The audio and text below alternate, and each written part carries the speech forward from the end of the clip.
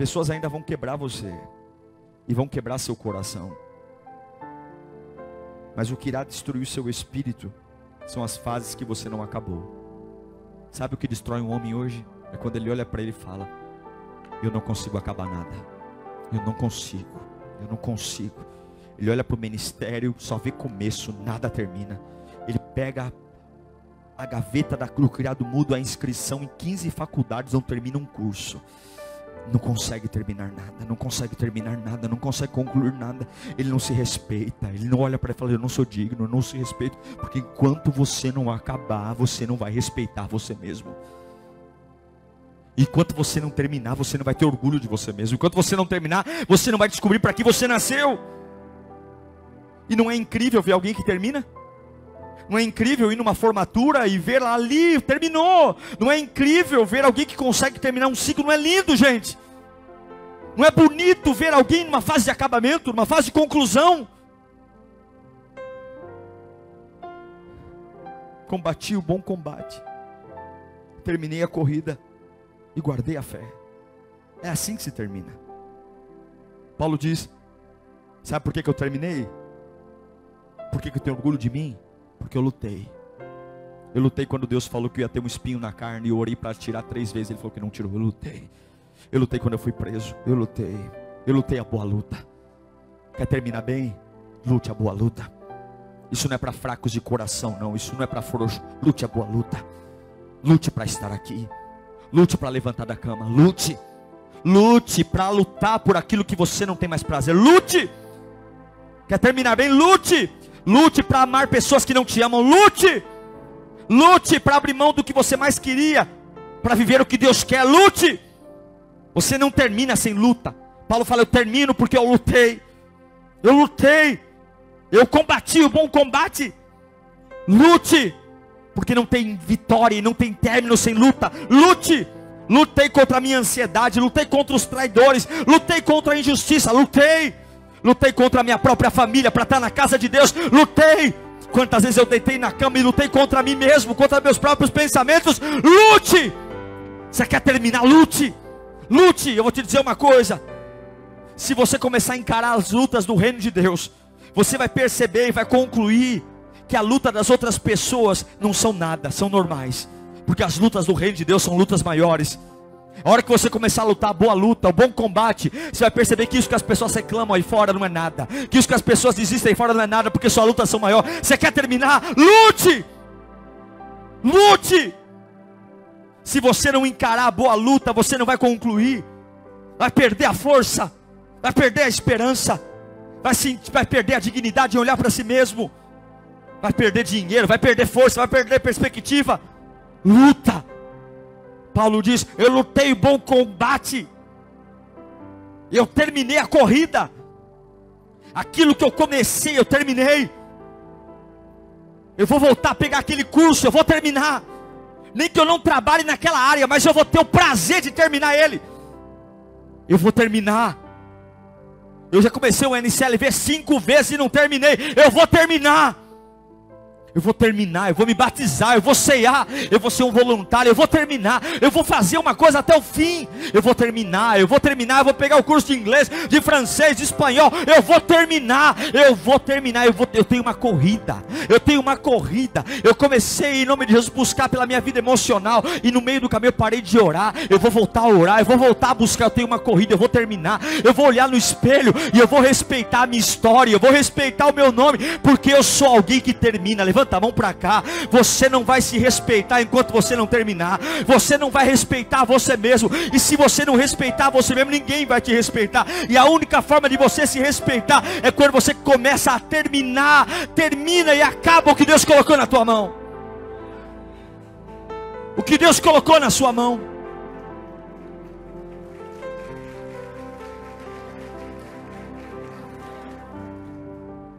Paulo fala: combati o bom combate, Com, terminei a corrida e por fim guardei a fé.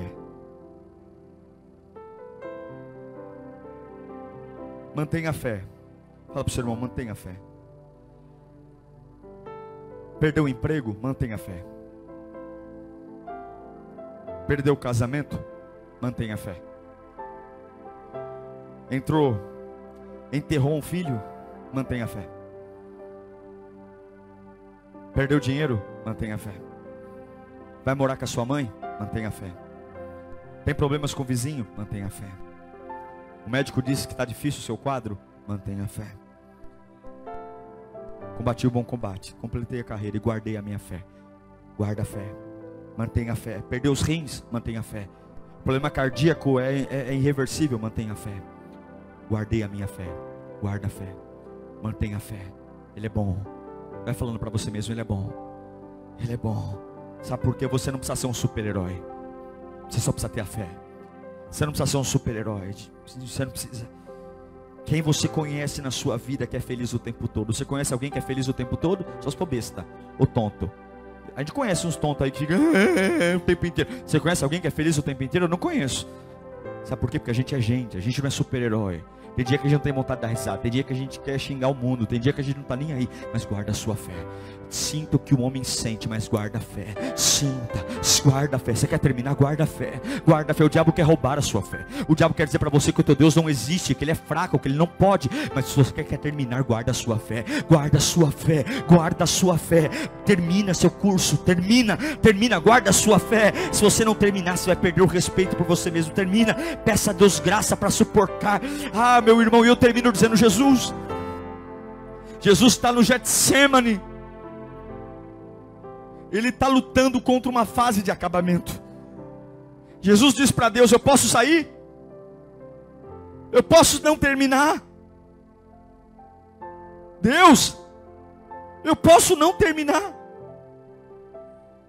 Afasta aqui. Eu posso não terminar. Tá bom até aqui, não está não? Deus diz: Não. Eu posso desistir? Não. Aí ele engole seco e diz: Então que não seja feita a minha vontade. Irmãos, por três vezes, diga três, Jesus pede para Deus afastar o cálice. Por três vezes Jesus diz: Eu não vou acabar isso. Eu não consigo terminar isso. E por três vezes a resposta de Deus é: não, não, não. Eu não sei para que eu estou pregando aqui, mas Deus manda dizer para você: ó, não, não, não, porque esse é o caminho mais fácil, não. Não porque esse é o caminho, esse caminho não me honra, não. Não porque essa desistência não me enche de glória, não. Não porque desse lugar eu não tiro azeite de você, não. Não, você vai terminar. Você vai terminar, você vai terminar, vai doer, mas você vai terminar. Você vai terminar e você vai dizer no domingo pela manhã: onde está a morte, a tua vitória? Onde está o inferno, o teu aguilhão? Tragada foi a morte pela vida, e o meu redentor vive, não! Você só alegrará o coração de Deus quando você concluir o que você terminou. Seja o que for, não saia. Seja o que for, não pare. E como pastor fazer isso? Duas coisas aqui eu encerro. Fale para você mesmo, perseverança. Em Apocalipse 2:4 diz: Tenho porém contra ti que abandonaste o primeiro amor. Sabe que Deus fala para a igreja de Éfeso? Vocês cantam, vocês pregam, vocês lutam contra o pecado, vocês fazem bons cultos, vocês dão cesta básica para os órfãos, cuidam das viúvas. Vocês são uma igreja maravilhosa. Eu só tenho uma coisa contra vocês: vocês não me amam mais. De resto, vocês são maravilhosos. Vocês não toleram o pecado. Vocês pregam direitinho. Fazem tudo como tem que fazer. Eu só tenho uma queixa contra vocês. Vocês perderam o primeiro amor. Se você não amar, o amor é a única capacidade que te dá de fazer o que você não sabe, de aguentar o que você não pode, de chegar onde você não alcança. Se você não tiver o primeiro amor, você não termina o que começou. Persevere no primeiro amor. Persevere. Diga para você mesmo perseverança. E segundo, dependência. Diga dependência. Efésios 3:20 diz: aquele que é capaz de fazer infinitamente mais do que tudo que pedimos e pensamos, de acordo com o seu poder que atua em nós.